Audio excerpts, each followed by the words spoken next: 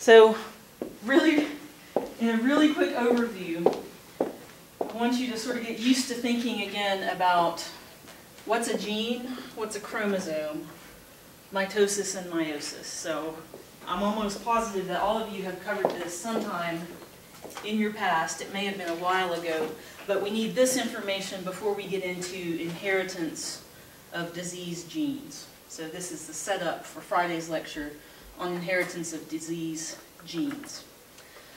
And so think about when you, when you learned about parts of the cell and you learned about the nucleus, what did you learn back then that what the nucleus is? The control center. The control center of the cell. Wow. The nucleus is important because it contains the DNA. And the DNA contain instructions for making the organism, is a better way that I like to think about it. And when you, in the past, or even in lab now, when you're looking at a cell, and say that you're looking at a cuboidal, simple cuboidal epithelium, and you look for cells, and you look for the nucleus as this round dot in the cell. And most of the time it will look like this.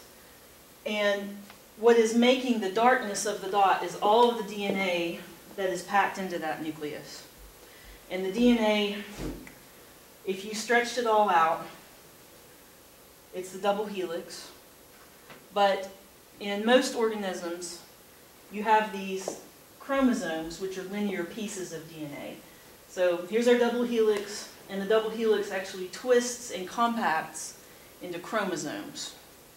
And the chromosomes may be in this version or they may be diffuse, and we'll look at that in a minute.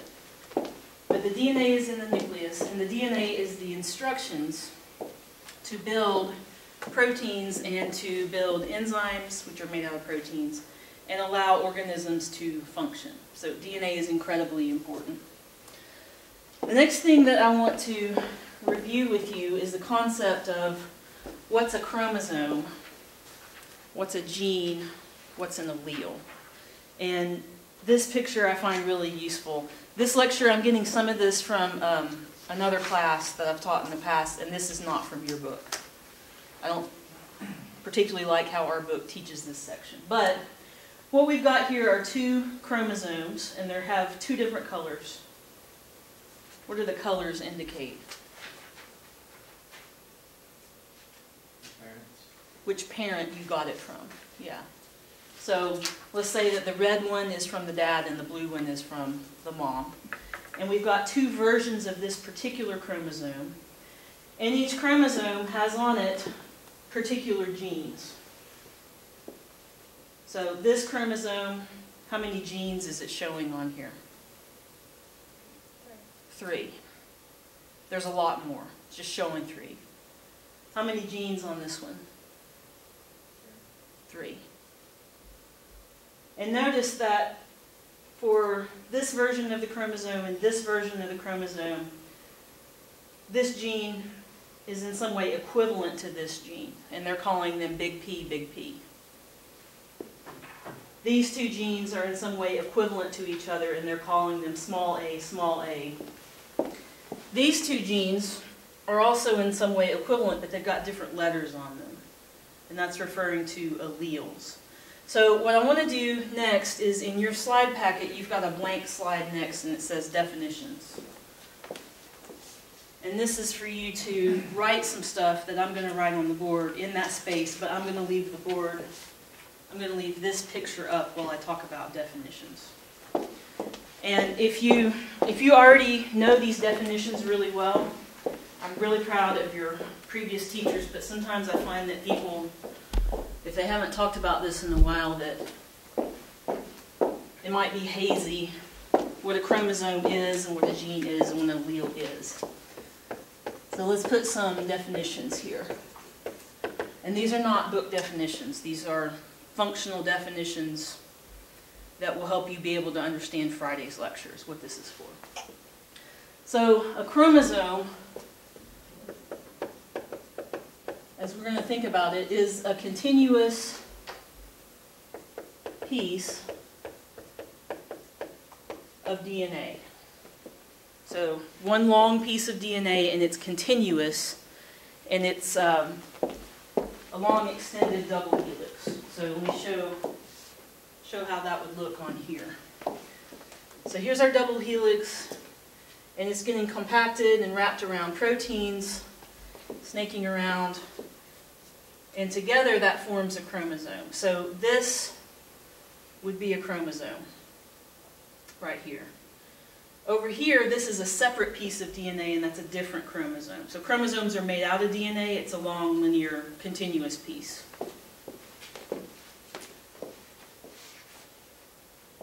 Okay, gene. Blake, what do you think a gene is? Pick on you.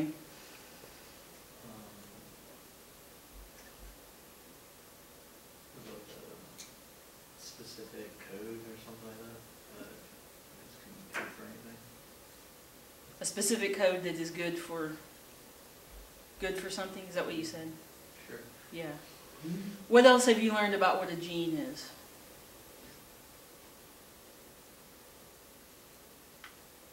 A small piece of DNA. A small piece of DNA?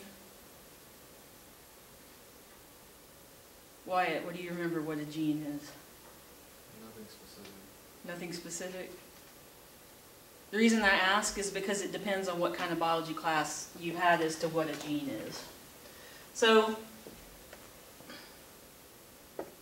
a gene, here's what we're going to say a gene is for this class.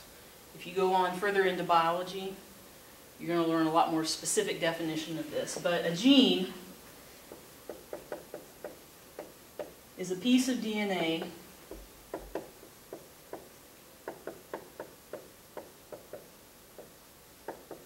that can produce a protein. So it has all the information that you need to make a protein. And that may have been what some of you learned a gene was in other classes before. Or sometimes a gene can make a useful functional RNA. So if, if there's something that we need particular RNAs for, like a transfer RNA, or a ribosomal RNA, or a uh, small interfering RNA, there are genes for those too. So a gene, I kind of probably like Catherine's definition best for what you need to know for this class. It's a little short piece of DNA, and it conveys useful information to make a protein or to make a useful RNA. So a little piece. That's what a gene is. Now we come to allele. What have you learned in the past that an allele is? Isn't that the part that's like can physically be seen? Sometimes alleles can physically be seen if they're a dominant allele. That does come into play. So let's look at, these are alleles of the P gene. So let's say that P, um,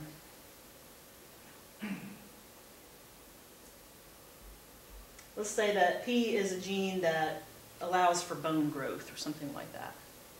So it's some kind of protein that's involved in bone growth. And the alleles are genes, so an allele is a gene, usually. An allele is a gene, but it's a version of a gene. A version of a gene. So if a gene is a car, an allele is a Ford Explorer, we'll say, like my car. It's a version of a gene. When we have two versions and they're exactly the same, that's what we call homozygous, and we'll come back to that on Friday. The versions are exactly the same. Like two 2003 red Ford Explorers, which there are multiple of that in this town. What about these two versions? Same or different? Different. They're different. They, they are both encoding the same type of gene, B, which will say this one is involved in bone density. It's a protein involved in bone density. So this one has something to do with bone density, so does this one, but they're slightly different versions. That's what makes them alleles. So they're different versions, and the versions have different DNA sequences. Sequences have to be different. If we say that the alleles are the same, that means that the DNA that's making that allele is the same in both pieces. So A, little a would have the same DNA sequence as little a here.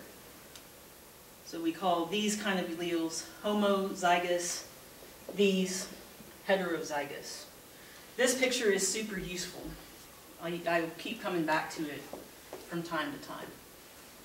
Um, what, what kind of alleles do you remember studying when you first heard of this? Eye color, Eye color, hair color, hair color,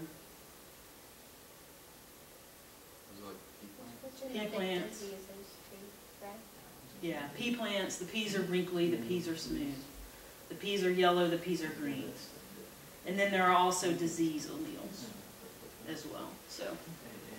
I'm gonna be most focused on disease alleles. Okay, so related to disease alleles, this is why alleles and genes matter to disease. So what would we call this, this item right here? This is a chromosome. It's a long continuous piece of DNA. They're pulling out this little region of it. And we would represent this as being a gene. So this piece would be a gene. It gets transcribed to messenger RNA, gets translated to this purple thing, which is what? Protein. Purple is usually protein in biology books in the US for some reason. Purple protein. So this protein, I need to move this back over to point at the picture. This purple protein is the protein that is most involved in the disease cystic fibrosis.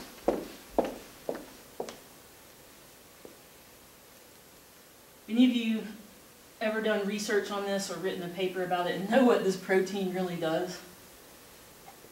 Sounds very boring. So this protein is a translocator protein that moves chloride ions outside cells. That's what it is. And people that have the disease allele of this protein, so we can talk about the wild type allele, that's the normal version of this protein. This protein moves chloride ions like that outside the cell at a certain rate in the, in the normal version. People that have the disease allele or the disease version of this protein, it's not very good at moving chloride. And that causes them to have cystic fibrosis. And cystic fibrosis affects multiple organ systems, including the lungs, liver, pancreas, intestines, the reproductive tract, and the skin. All because this protein is messed up because they have the disease allele. And so the first, I think the first final, um, I guess I'll go ahead and say this. The first final that I wrote for A&P2, I used cystic fibrosis as the disease and I based the final around it because look how many things. Respiratory system, digestive system, reproductive system. I didn't bring skin into it, but talked about, you know, here's this disease and it affects all these body systems. So we'll have diseases for our final, it's not going to be cystic fibrosis. I'm going to use this as the example. But I'm going to try to draw, draw on here. So here's a plasma membrane. Here's this protein that's supposed to be pumping chloride out. It's supposed to be pumping chloride out. If it can't pump chloride out, not enough water follows it. Oh my goodness, it's osmosis again. It's osmosis again. So if you can't get enough chloride pumped out, you don't have enough water following it. And what this does is it causes secretions in the body are too thick or they're too viscous. They don't have, they're not watery enough. So every secretion, basically, in the body that people make, it doesn't have enough water in the secretion. So what's their sweat like? You know any people that have this or? It's very salty because there's not enough water coming out with, with the sweat. It's too concentrated. Um, what's their respiratory mucus like? Really thick. It's so thick it's hard for them to cough it out, and pathogens tend to get trapped in there, and it causes a lot of infections. Um, their pancreatic secretions are too thick. Hmm, their pancreatic secretions are too thick and too concentrated, and they tend to clog up um, the ducts that empty into the small intestine. So they have to take digestive enzymes to help digest their food. Um, their semen and cervical mucus are too thick. That's what makes them infertile. All from this, one wrong protein, one DNA sequence change, all from this. So cystic fibrosis, a lot of people learn about the genetics of it because it's a, it's a recessive disease, it's a single gene. It is, and we'll work through some examples of this on Friday of how it's inherited and um, who's a carrier and things like that. But one, one disease, a genetic cause, it affects multiple body systems. So that's, that's the kind of thing that you'll be working through with your finals, except it will be different diseases. You'll look at the inheritance of it, how does it affect the different body systems, and I kind of relate it to the way that I teach this class. So that's kind of what's coming. It just won't be for cystic fibrosis. Um, and I'm probably, I probably will show you, you know, next Wednesday I'll show you what the test was for cystic fibrosis as an example, so that you can kind of see, see what to expect. Okay. So to understand inheritance of these genes, we need to look at chromosomes and review a little bit about meiosis and mitosis. So here's our double helix. It's twisted around these proteins called histones, and it's forming this tight, compacted fiber called chromatin. And this is supercoiled chromatin. And when you see chromosomes that have a linear shape they look like rods or they look like X's, that's when DNA is compacted the most. So this version down here, this is super compacted DNA, um, and it's forming chromatids, and together we call this the chromosome. And this is a space-saving mechanism. When do you see chromosomes look like this in the life of a cell? Is it like this all the time? It's not like this all the time. I'll come back to that in a minute. It's like this sometimes in this form of sister chromatids. So this would be a sister chromatid, this would be a sister chromatid, and they're stuck together at this region called centromere. But it's not like this all the time.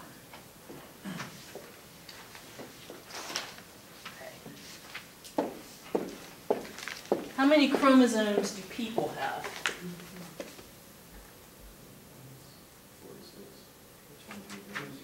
Forty-six in most cells, most of the time, and they're in twenty-three pairs.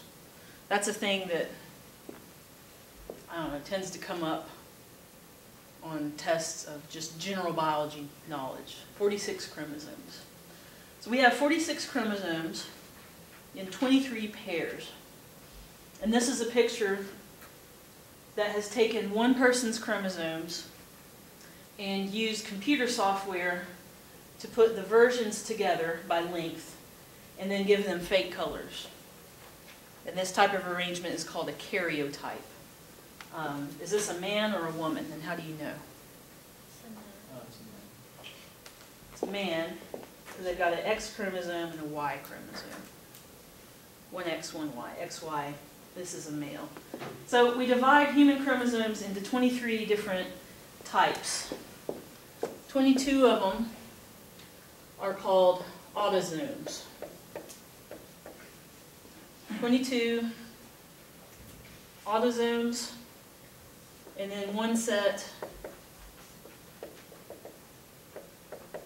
of sex chromosomes, which are X and Y, or X and X if you're female. And how is chromosome 1 different from chromosome 13? What's different about those in this picture?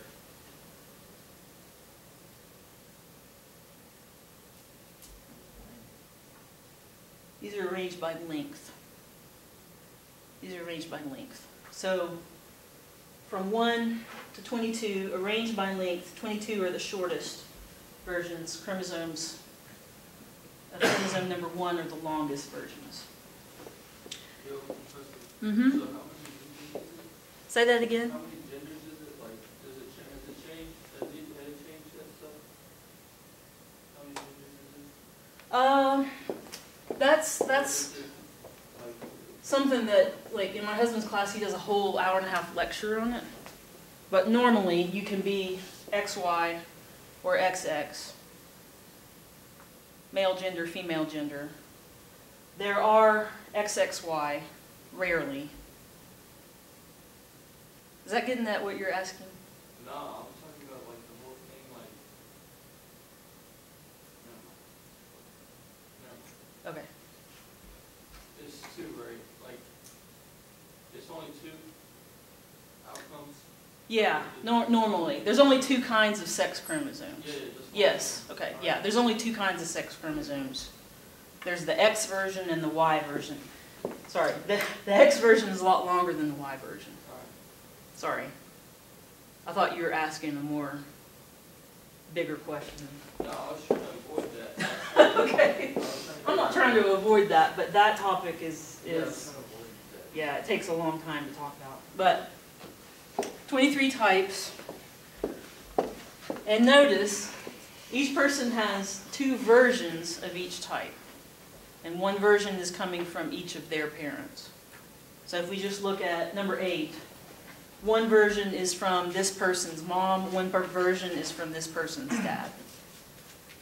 And it's the same for, for every set. So we call the versions homologous chromosomes. And homologous chromosomes, let's make a note about this. Homologous chromosomes are always the same length.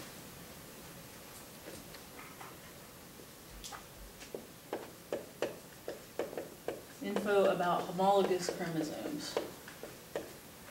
Chromo, yeah, chromosomes. They're the same length. They ought to have the same kinds of genes. Let's, let's put the same general kinds of genes in the same order. But they're going to have different sequences. And probably different alleles. So I want to go back to our red and blue chromosome cartoon now. And look at those homologs a little bit more. Okay. So these two are homologs of a chromosome. We could say this, these are homologs of chromosome 4. There's one version from the dad, there's one homolog from the dad of this person, there's one homolog from the mom of this person. They're the same length, They've got the same kinds of genes, generally in the same order, but they're not going to have exactly the same sequence. See how they've got different alleles at this place? They might have the same alleles at this place, but homologs are not 100% the same all down their length. Seem okay? Homologs.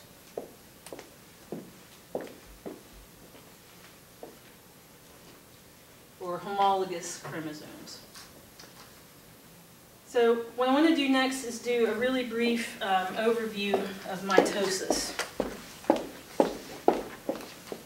Really brief overview of what mitosis is. What do you remember about mitosis?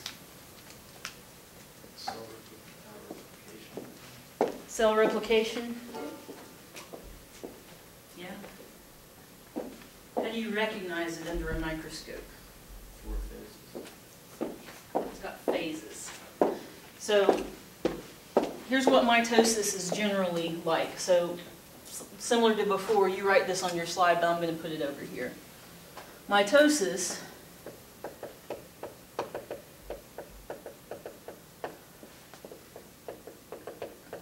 if it works right, it's going to make identical copies of the dividing cell. So for example, if I give myself an Indian burn on my hand, why would I do that? I don't know. I'm not 12. But if I did, and I scraped off skin cells, um, it would grow back. My skin cells would divide, and they would make more of themselves and replace what was there. So mitosis, you can consider it to be ordinary cell division. This is ordinary cell division. And most of the cell division that goes on in your whole entire body is mitosis. So for human cells, we're taking a cell that has 46 chromosomes. It copies its DNA. And for a brief moment, it's going to have 92 chromosomes, and then it's going to go through those stages, which I learned as PMAT. I'll still know that when I'm old and have Alzheimer's. PMAT and Roy G. Biv and that stuff. And then, and then we end up with two two cells that both have 46 chromosomes, and we can consider that they're genetically the same as this cell. This is a replacement cell division process. So that's kind of overview of mitosis. I've got a few slides here that are going to go through the stages, and the stages are not particularly important for this class, but it may be useful for you to review them before you go on to whatever your next uh, phase in your science studies are. Um, and this is what are the stages of the cell cycle. The first one is actually not part of mitosis. That's interphase. So if I were going to put interphase over here, interphase is the in-between time when the cell is just living its normal life, and you look at the nucleus, and it looks like a round, dark blob. It's probably interphase. So toward the end of interphase, this could still be interphase over here because the cell has to copy the DNA before it divides. You've got to have two copies um, of all of your chromosomes before you divide. Otherwise, these cells won't end up with the DNA that they need. So when I am teaching mitosis stages, and I'm trying to teach people to look for how you recognize interphase, it's smooth nucleus. We don't have chromosomes condensing, it just looks like a round blob or just a normal looking cell. That's interphase. If a cell is going to divide and actually do mitosis, after interphase, it will go through prophase, metaphase, anaphase, telophase. And in these stages, the chromosomes are more condensed than usual. The chromosomes, they don't look like smooth DNA anymore. They don't look like relaxed DNA. They're really, really condensed and tightened up and compacted into visible chromosomes. And this is because these are gonna get dragged all over the cell. And it's like if you, I know people do this, but if you, I've done this, take the Christmas lights down off of your tree and you just like drag them into the hall and then you throw them in a bin, some of them are gonna break. They will. And new, newer Christmas lights, you can have some break and the whole thing will still work. But um, if your mom or anybody that you know like takes them down and then they wrap them or they twist them around wheels so that they're easier to handle and move, that's like chromosome uh, condensation, this tightening. So when you're looking at mitosis under a microscope, you're always looking for, well, what are the, what are the chromosomes doing right now? That's, that's the exception. You only see chromosomes tightened up and compacted like that during mitosis. Most of the time in the cell's life, the DNA is in this version, more relaxed and more usable to make proteins. This is actually how cells' DNA looks most of the time, not in chromosomes like this, not in condensed chromosomes. But during prophase, we've got chromosome compaction. The nuclear envelope breaks down because the chromosomes are going to have to move. So this breaks down, the chromosomes start attaching to the spindle. That's prophase. And then the chromosomes will start to line up in the middle of the cell. That's metaphase. So cartoon version. Um, more colorful version. Sorry, I forgot to move the camera video watchers. Okay. I always liked to see metaphase on the lab exams. Like, yes, I know that's metaphase. They're lined up in the middle.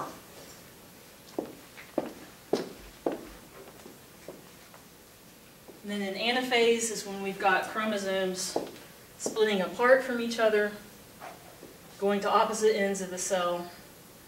Um, we then call them daughter chromosomes during anaphase. And if you're looking at this under the microscope, you want to look for two lines of chromosomes in the same cell. Anaphase.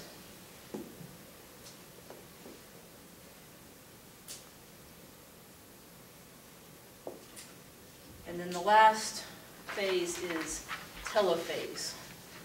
And telophase is basically the reverse of prophase. So we get chromosomes starting to relax.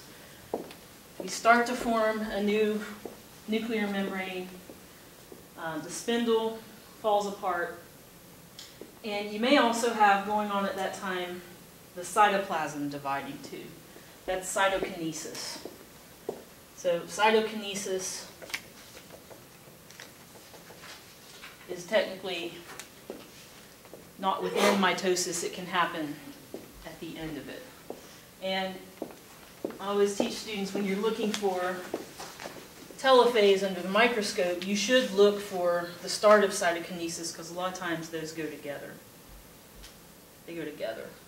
And you look for, oh, we've got two nuclei still technically in one cell here. That's telophase. I want to go back.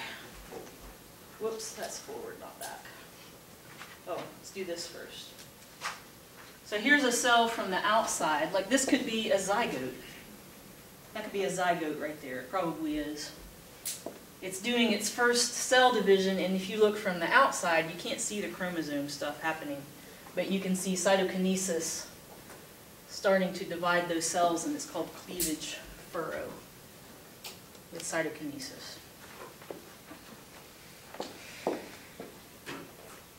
I'm not going to go back. I need to keep going forward. So don't be, that's just a review for stages of mitosis in case you need it for other classes later and you haven't looked at it in a while. I want to next talk about meiosis and do a similar thing where you write the general info for meiosis on your slide, but I'm going to put it over here. And I'm going to make it next to the one for mitosis so that we can compare them. So here's for mitosis. We'll do do a similar description for meiosis.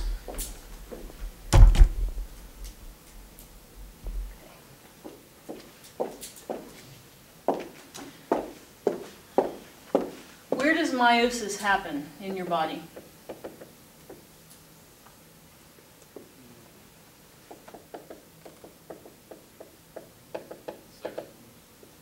It's only in sex organs. It's only in the primary sex organs. So it's only in the testes, only in the ovaries. I did not even realize until I was embarrassingly older that that was a fact. And that really helped me once I figured that out. Like, oh, that makes sense. We don't need to be doing meiosis in other parts of the body because that's, we just need ordinary cell division to replace ordinary cells. So meiosis only happens in the testes and the ovaries because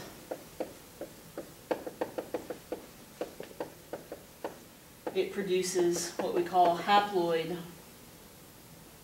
cells, which in people, our gametes, our sperm and eggs, are haploid. So meiosis takes a cell with 46 chromosomes. This says 46 chromosomes, if you're watching the video. It still copies its DNA. It briefly will have 92 chromosomes. And then it goes through two rounds of cell division which are called meiosis 1, meiosis 2. And we end up with gametes, and how many chromosomes does each gamete have?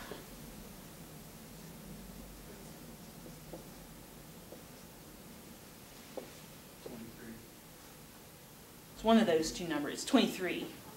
23. At this point, in between meiosis 1 and 2, we have cells that would have 46 briefly. But then there's a second round of cell division, and we make gametes that have 23 chromosomes. This is useful because if we're going to have, oh, it's so good. Such a good drawing sperm meet egg and fuse and form a zygote, the zygote needs to have 46 chromosomes. Thus, the sperm needs to have 23, the egg needs to have 23. Seem okay? We're not going to go through all the eight stages of meiosis. Yay, aren't you happy? I'm happy. it's one of my least favorite things to teach. But the gametes have to have half the number of the normal cells if we're going to form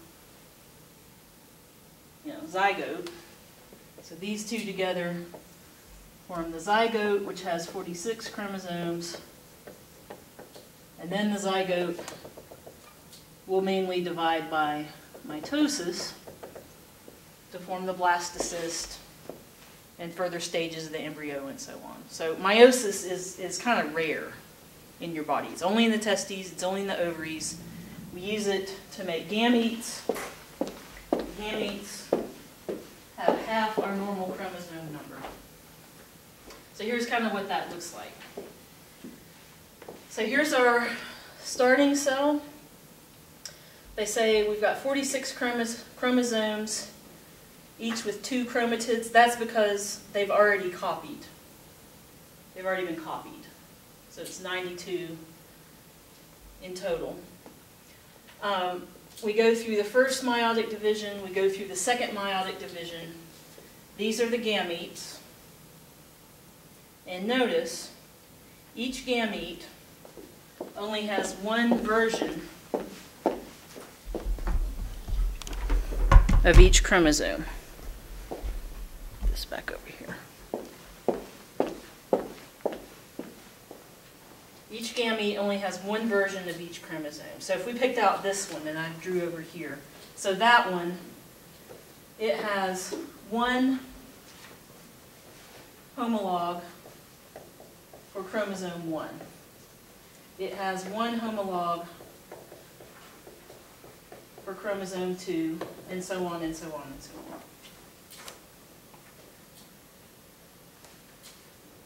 This one is, so, so if these are, what is this, sperm? Is this about sperm? Oh, it doesn't say yet. Okay, so if these, if these are eggs, let's say, and this is my egg, and this is chromosome two, right here. This version of chromosome two is either the one that my dad gave me or the one that my mom gave me. Doesn't have both anymore. It's only got one of them.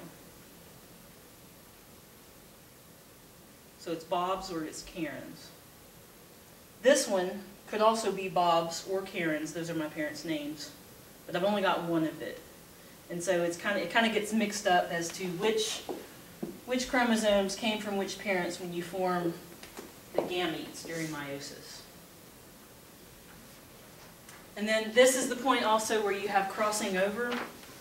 I'm not going to get into details of crossing over, but this is where it happens. It's during meiosis. How well did this, oh, it's just all gray. That's not helpful, I'm sorry. If you've got black and white printouts, they're not helpful at all, but they're in color on here. So when we've got pairs of duplicated chromosomes, and they line up together during meiosis, you can have crossing over and you can have swapping of pieces.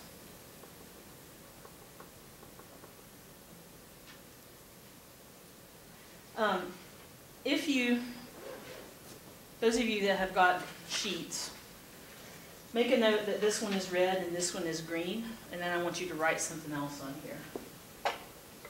That's helpful. So we're going to call this chromosome 1. We'll say that these are all versions of chromosome 1. Call this paternal, sorry, paternal, I couldn't think of that word. Paternal for the dad, paternal homolog 1, like PH1, paternal homolog 1. This is maternal homolog 1, MH1.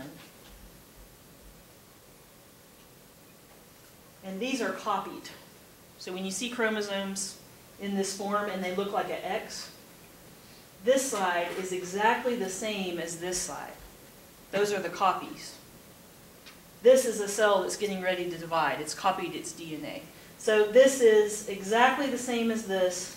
This would also be paternal homolog 1. Totally the same. Totally the same. These two are totally the same. If this is maternal homolog 1, this is an exact copy of it, maternal homolog 1. Are these two the same? These two would be homologs. They would have generally the same kinds of genes in the same order, but they would have different alleles. They have different alleles. If this is confusing, don't worry too much about it. It's not going to come into play in this class too much. So here's another way to look at that. Um, red is paternal, right? So here's the dad's versions of chromos, chromolog, gosh, chromosome 1. And notice they are exactly the same as each other. They're copies. Here's the mom's versions of chromosome 1. And they are exactly the same as, the, as each other. But their versions are not the same as the dad's versions. These two are separate homologs. These two are exact copies of each other. These two are exact copies of each other. And then we could go through and say, well, for this gene it's heterozygous, for this gene it's homozygous. But in the gametes, right down here that these are gametes. Look, if these are sperm, and this is a sperm cell, it only got one parental homolog. Moms or dads. It's the mom's, because it's green. It's only got one version of chromosome one. This one only got the dad's version of chromosome one. These two crossed over and they've got a little bit of mix and match. Um, that increases the variability of the sperm. Um, how many of you have ever watched Monty, Monty Python movies? Yes. There's, there's this song in there, I don't know which movie it's in because I didn't watch them all, but it goes, every, every sperm is sacred. Every sperm is something, and they go on and, um, anyway. Relating that to this. So this is showing, if these are sperm and this is showing that it only has one of chromosome one, it also has one of every other chromosome. Um, but if you take sperm as a group, or eggs as a group, and you compare them genetically to, to each other, it's possible that somewhere there's one other sperm that's exactly like that one, but it's unlikely. It's more likely that each individual sperm is genetically different from all the others because of crossing over, because of independent assortment. Um, the sperm is not a zygote. The sperm is not a new, complete diploid individual in any way, but they are genetically different from each other. So, anyway. If you've heard that song, now you won't think about it the same way. But they, that team was very smart group of people, basing it on this concept. Um, this picture is pretty much the same as what we looked at before, it's just, except just showing, you know, instead of this, the DNA in the sperm cell are really up in the head region, but these would have different genetic uh, material in each one.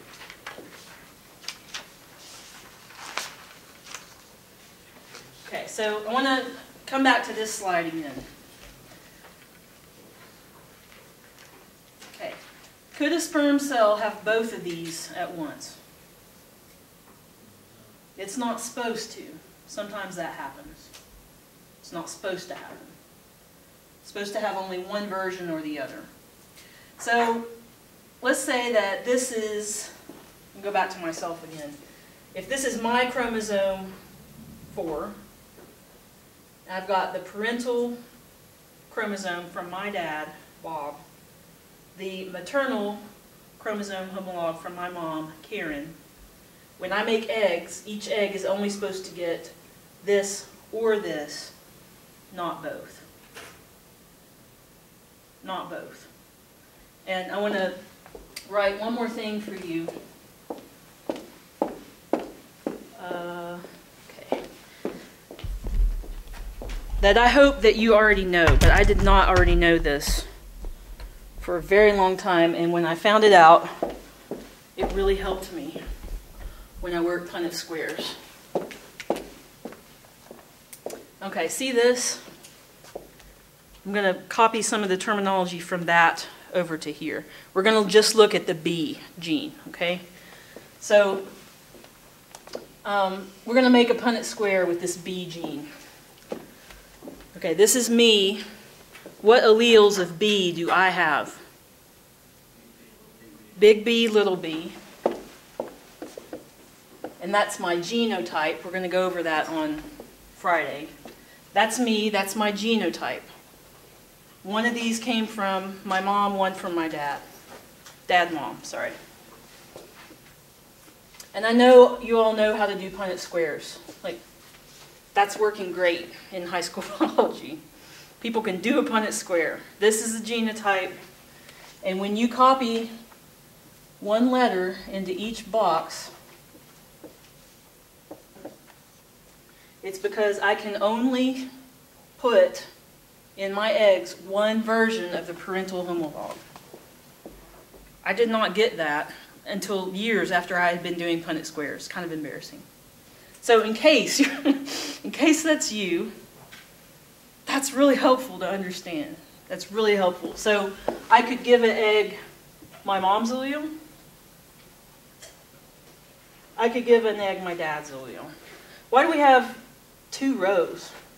Like that's all I can give an egg. I can give an egg this or this. What's the point of this second row? Yeah, because these are representing completeness of it is a, is a zygote. Because we're assuming there's a dad. So if you just made a Punnett square that just represents possibilities for sperm and egg, it'd just be one row. Like, I could give an egg this, or I could give an egg this. But we intend these to represent zygotes. So what, if I wrote over here, firstly, why would I write anything over here? The, the. The other parent, which in these days is, you know, a male. That may, there may come a day when people can fuse two eggs together. But this would be their genotype, they're homozygous, and they could give, they could give this into a sperm, they could give this into a sperm. They happen to be the same. But these, you know, it's like, oh, it's little b, little b. That's fertilization, that's making a zygote. That's why we have two rows. So we're gonna do Punnett squares on Friday. Um, I hope that you're not just like, you know, filling it in and doing it, but it will make more sense why they are that way. That's what we'll be doing Friday. Bring your, um, you'll need to bring handouts for Friday. Those should be appearing tomorrow sometime on Blackboard, and we will have a quiz on Friday.